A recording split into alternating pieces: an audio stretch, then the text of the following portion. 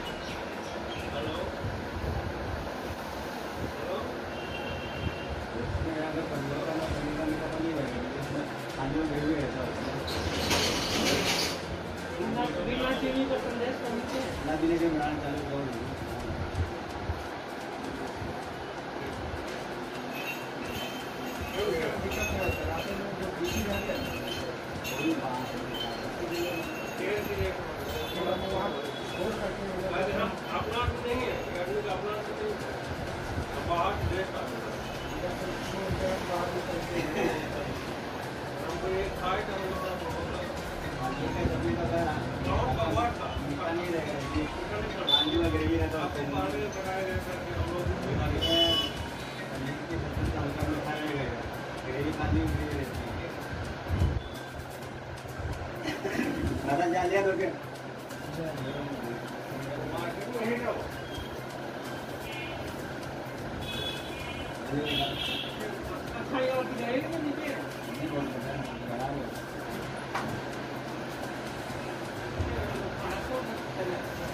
पनीर के बीज और चने दाल।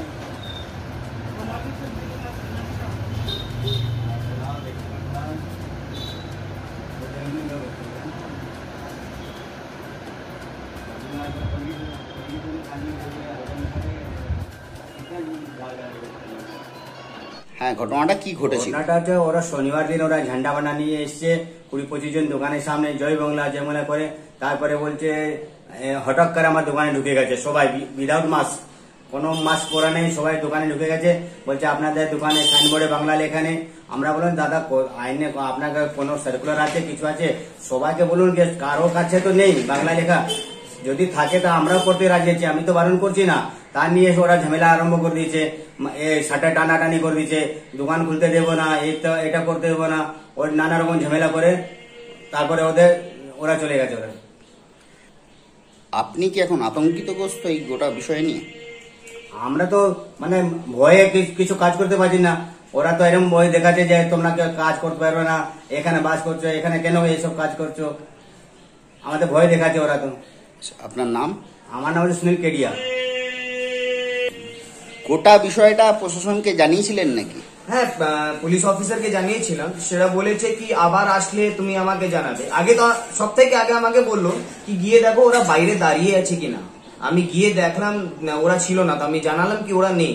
তো বলল কি ঠিক আছে আর আসবে না আর পরে আসলে আমাকে জানাবে। আচ্ছা এই গোটা ঘটনার ভিডিও ফুটেজ আপনার কাছে আছে? হ্যাঁ আমার কাছে সিসিটিভি ফুটেজ আছে। আমার দোকানে দুটো সিসিটিভি আছে। একটার বাইরের দিকে করা রয়েছে মুখটা সেখানে সিসিটিভি ফুটেজ আমার কাছে আছে। আচ্ছা। এই যে সংগঠন এই ঘটনা ঘটালো তাদের দাবি হচ্ছে আপনাদের বোর্ডে বাংলায় লিখতে হবে। এই বিষয়টা নিয়ে কি বলবেন? আমরা বাঙালি। আমরা আমি এখানে জন্ম নিয়েছি আমরা বাঙালি। আমি বাঙালি থাকি আমরা বাঙালি। যদি গভর্নমেন্টটা ল পাস করে আমরা নিজেই করতে করতে রাজি আছি। এরকম হিংসা করলে তো লাভ নেই না কোনো লাভ হবে না। আচ্ছা আপনার আপনি কি করেন? আমরা আমি বলিউডে কাজ করি আমি সেলিব্রিটি ম্যানেজমেন্ট করি। আর লকডাউনের সময় আমি এখানে এসেছিলাম তো বাবা লকডাউনের পর দোকান খুলেছে তো আমি সবকিছু কাজ বন্ধ আছে তাই আমি দোকানে বসি। আচ্ছা আপনার এখন কি আতঙ্কিত লাগছে? নিশ্চয়ই আতঙ্কিত। আপনার নামটা? আমার নাম হচ্ছে চন্দ্রপ্রকাশ। আচ্ছা। টেক অফ করেছে। কি বলবেন? না সোশ্যাল মিডিয়ার মাধ্যমে আমিও সেই ভিডিওটি দেখেছি। আমি মনে করি এটা অত্যন্ত অন্যায় এবং এটা কাঙ্ক্ষিত নয়। তার কারণ আমরা যখন বলি নানা ভাষা, নানা মত, নানা পরিধান, বিবিধের মাঝে দেখো মিলানো মহান। বৈচিত্র্যের মধ্যে ঐক্য, এটাই হচ্ছে ভারতবর্ষের বৈশিষ্ট্য। আজকে আমরা সকলে প্রথমে ভারতীয়, তারপরে কেউ বাঙালি, কেউ বিহারি হতে পারি। যে সংগঠনটি কাজটি করছে, তারা অত্যন্ত পরিকল্পিতভাবে শাসক দলের মদতে পশ্চিমবঙ্গের প্রশাসনের মদতে এই কাজটা করছে। বেসিক্যালি তারা জাতি দাঙ্গা লাগানোর চেষ্টা করছে। এই আমরা বাঙালি, জয় বাংলার যে স্লোগান, তারই একটা অংশ হচ্ছে এটা। বাঙালি, বিহারি, মারোয়ারি, এদের মধ্যে বিভেদ সৃষ্টি করো আর আঞ্চলিকতাবাদকে প্রশ্রয় দাও। এটা অত্যন্ত অন্যায়। তার কারণ হচ্ছে আমাদের দেশের আইনে কোথাও এরকম কিছু নেই যে রাখতে হবেই। আজকে যারা বাঙ্গুর পার্কে করছে, তারা কেন মেট্রোপলিটে যাচ্ছে না? তারা কেন রাজাবাজারে যাচ্ছে না? সেখানে যখন উর্দু ভাষায় সাইনবোর্ডগুলো আছে, সেখানে তো এরকম বিক্ষোভ দেখাচ্ছে না? অর্থাৎ উদ্দেশ্য খুব পরিষ্কার যে নিজেদের মধ্যে বা বিহারি, বাঙালি করে দ্বন্দ্ব তৈরি করো, সংঘর্ষ তৈরি করো এবং তার মধ্য থেকে আঞ্চলিকতা বাদের নামে, আঞ্চলিকতার বাদে তাদের ভোটের স্বার্থে তারা কাজে লাগাবে। এই সংগঠনটি আসামে গিয়ে একই কাজ করার চেষ্টা করেছিল। সেখানকার প্রশাসন যখন প্রশাসনিক ব্যবস্থা নিয়েছে, আইনের পথে যখন তাদেরকে নিয়ে গেছে এই সংগঠনটির যিনি মূল দায়িত্বে আছেন তিনি প্রকাশ্যে ক্ষমা চেয়েছেন। হুগলি থেকে রাকেশ চক্রবর্তীর রিপোর্ট বলো কলকাতা ও বাংলার আওয়াজ। পরোক্ষভাবে তাদেরকে মদত দিচ্ছেন এবং আমি মনে করি এটা বন্ধ হওয়া উচিত।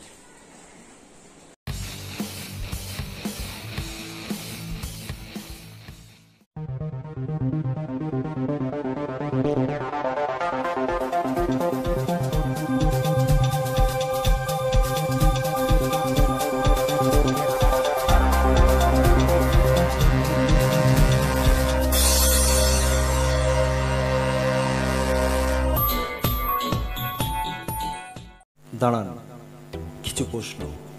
আপনি মোবাইলে ছবি তুলতে পারেন? আপনি দু চার কলম লিখতে পারেন? যে কোনো ছবি সামান্য এডিট করতে পারেন? বাংলায় ভালো লিখতে পারেন, অথচ লেখার প্ল্যাটফর্ম পাচ্ছেন না? সাংবাদিকতা করতে চান? যদি ওপরে দেওয়া পাঁচটি প্রশ্নের মধ্যে একটিরও উত্তর হ্যাঁ হয়, তাহলে আপনিও হতে পারেন ডিজিটাল প্রেস মিডিয়ার একজন। এখনই যোগাযোগ করুন আমাদের সাথে। Eight two four zero one six eight three seven zero নম্বরে। এবারে নির্বাচনে লড়তে মন কেমন কেমন করছে? মনে জোর পাচ্ছেন না আপনি? কিন্তু লড়াই তো করতে হবেই না হলে যে পিছিয়ে পড়তে হবে। ভোট গুরু আছে আপনার সাথে, চিন্তা কি? শুধু প্রচারে থাকুন আপনি, খেলব আমরা। জিতবেন আপনি। বিস্তারিত জানতে আর দেরি না করে সরাসরি ফোন করুন এই নাম্বারে। Double nine zero three five eight three eight two one আর অপর নাম্বারটি হলো seven double zero three zero eight one two four two